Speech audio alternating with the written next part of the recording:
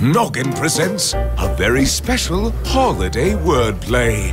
Starring today's word, um, well, oh my. Uh, we're gonna need a minute. Dima, we. Oh, who am I kidding? I've forgotten today's word, and it was the perfect holiday word. Let's ask our friends. You're just in time. Milli, do you know the perfect holiday word? Hmm. Well, do you need help with the lights? Yeah. Hey, what makes lights so bright anyway? Well, I know that word electricity. Electricity is uh, not the perfect holiday word. Looking good, Milli. Looks like a lot of people need our help.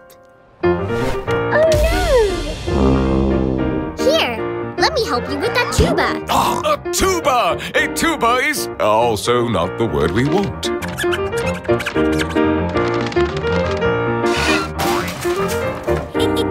I can help. Dima, you've helped everyone, yet I still can't remember. Hmm.